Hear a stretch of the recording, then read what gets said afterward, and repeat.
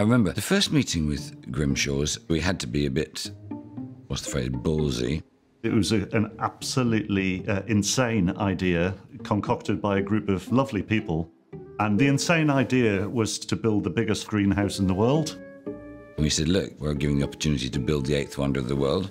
Uh, the only problem is we've got no money. And I don't think you're supposed to talk to signature architects like that. So when they said they'd call us, it felt very much like, don't call us, we'll call you. And to our amazement, they called back the following day.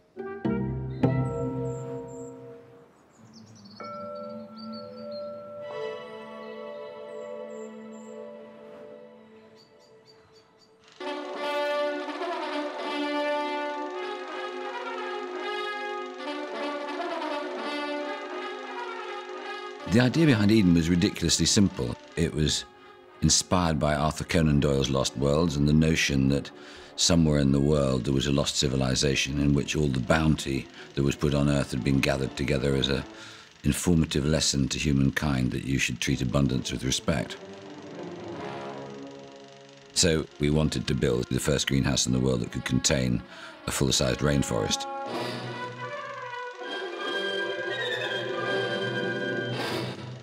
we came upon this place, pushed our way through the bushes, being rather careful because we knew there was a precipice there. And we, we, we pushed the final row of stuff apart, and there was this quite extraordinary kind of moon landscape. I walked to the edge and looked in, and it really did look like, you know, like the lost world. This magnificent uh, quarry that was just going out of uh, its useful life. We knew it was where we wanted to build in the crater of a giant clay pit in Cornwall. I think we felt right from the beginning that the topography of this great kind of bowl should be 50% of the architecture, so we should work with it. The initial idea was to do trusses rather like the trusses at Waterloo, rather filigree kind of uh, uh, beams, leaning against the cliff face and to plant the cliff face so that it looked like the forest went on forever. The first challenge actually was nothing to do with those structures, or not much. It was actually to do with the nature of the ground. And while we were designing it, uh, they were still digging out the last remnants of the china clays. It's rather valuable stuff, this. So they were kind of scraping out the bowl, really, taking the remaining stuff. The boys back at Grimshaw were getting increasingly irate with doing drawings where the foundation line was moving by 10 metres a week. We had to do the design, but all the time we were doing the design, the ground was shifting around because the mining was still taking place because the client couldn't buy the site until we could draw down the money from the Millennium Commission.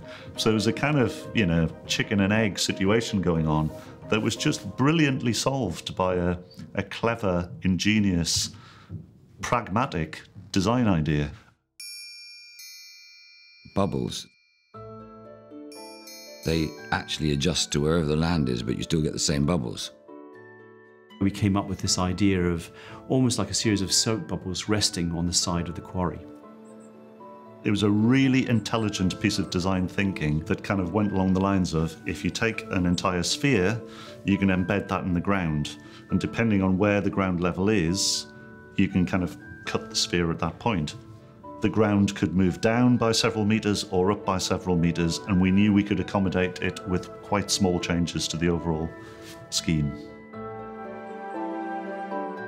There's no question that it's probably seen as an iconic building form, but it didn't come from any kind of notion that, oh, we wanted to look like this.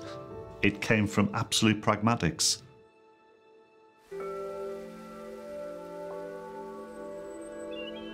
I love rainforests. But to be able to stand in one in Cornwall every day is, is a real privilege. You can sort of forget it's there.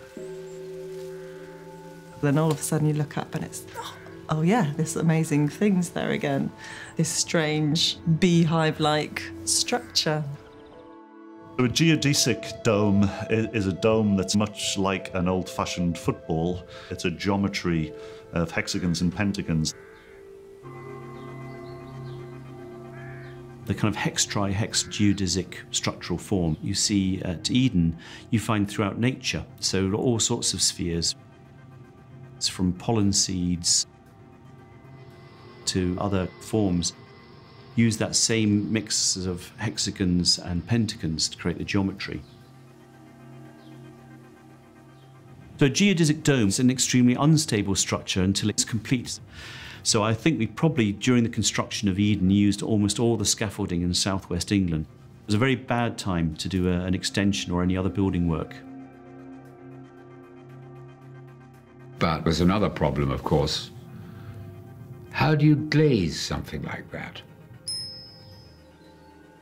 Plants require as much light as possible. Therefore, you want cladding which can span a long way and doesn't have any of its own substructure. So we decided in the end that we should use air inflated pillows of a material called ETFE. It's incredibly light. An 11 meter hexagon can be lifted by one man. Compared to a glass and steel structure, it uses around 1% of the volume of material. So the final weight of the building is no more than the weight of the air inside the building. Not only is it much more economical, but it's also environmentally far more efficient.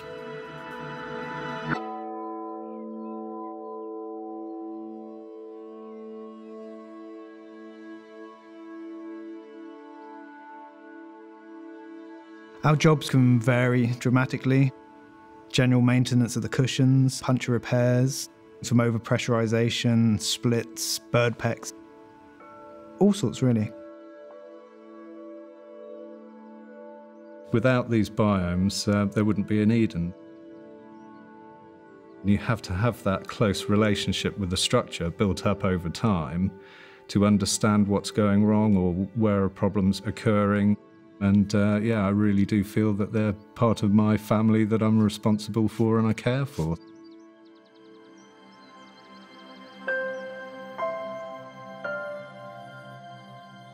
We designed the pillows so that they could be replaced. And over the years that that structure exists, more and more fascinating cladding systems might emerge, and that eventually it might actually grow its own skin, a sort of clad, you know, with plant life.